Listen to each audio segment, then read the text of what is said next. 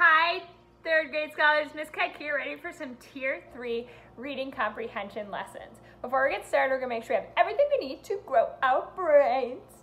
And that is this story, Five Flying Penguins from GetEpic.com. You can find it in your email or go onto the website and type it in. You can pause the video now and unpause it when you have the video ready to go. Alrighty, scholars, so I have a question for you. What do you know about penguins? Tell Miss Keck what you know about penguins. Very cool. Have you ever seen a penguin? I have. I went to the Georgia Aquarium recently and I saw the penguins and they're one of my favorite animals. I think they're so cute the way they waddle. Alrighty, scholars, so our story today is about five little penguins that are content in the cold until they spot a menacing mammal. We're gonna read and find out what happens to the five little penguins today. So before we get started, we're going to take a look at some sight words that are popping up right here. We're going to say them so we know them very quickly when we see them in the text. The first one is little. Say it. Say it.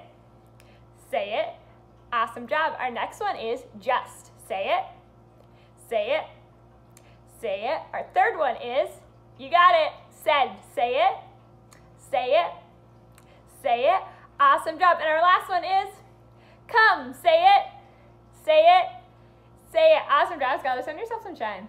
Alrighty, scholars. So what do we do when we don't know a word? How do we decode a word? Tell Miss Keck. You got it, scholars. We find chunks of the word that we know, and we think to ourselves, does that make sense? So we're going to try it with this word today. So I might not know this word, and this word is going to show up in the text. So I know this blend is a fl, fl. And I know this ending, ing, ing, from, our, from the work that we do with phonics. So fl, I, fl, fl, ing, fling, fl, eyeing, flying, flying. Does that make sense? Yes, it does. And I found chunks that I knew in the text, in the word, to know to myself, does that make sense? And put them together.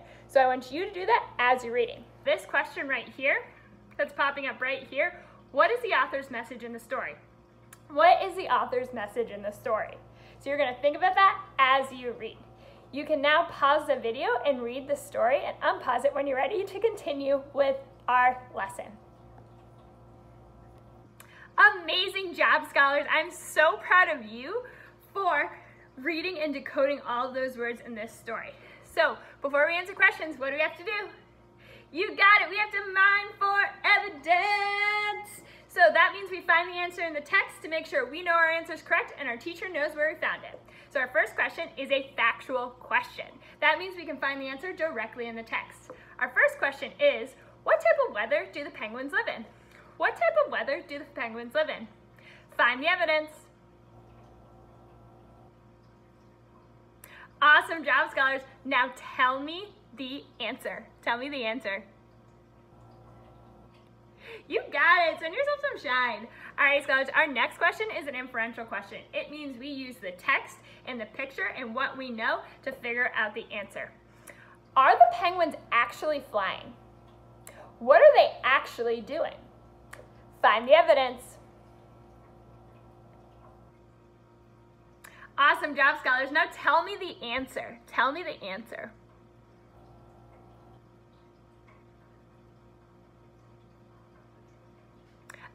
Amazing job, scholars. Kids are. An amazing job with that question. Our next two questions are critical thinking questions. It might be about how the characters change the story, what the message the author is trying to tell us, or the character's motivation. So our first critical thinking question is, what is surprising at the end of the story? What is surprising at the end of the story? Find the evidence.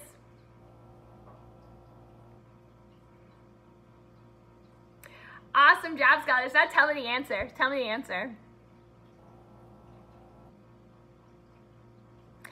Amazing job, scholars. Kiss the brain.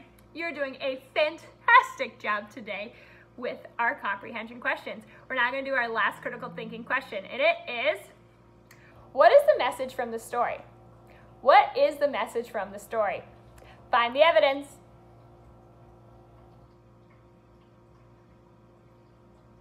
Awesome job, scholars. Now tell me the answer. Tell me the answer. You got it, scholars. You did an amazing job today reading and answering those questions. Kiss your brain.